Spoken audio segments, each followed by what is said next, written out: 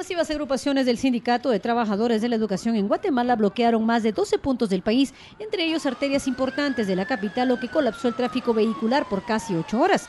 A una semana de que el líder sindical Joviel Acevedo advirtiera sobre los bloqueos, centenares de docentes instalaron barricadas en distintos tramos carreteros del país para presionar al legislativo a que apruebe una ampliación presupuestaria por 1.500 millones de quetzales. Acevedo aseguró que desconocía las acciones de los maestros. Ante lo sucedido, varios diputados comentaron a emisoras unidas que la jornada de protestas fue una manipulación del Ejecutivo para ejercerles presión.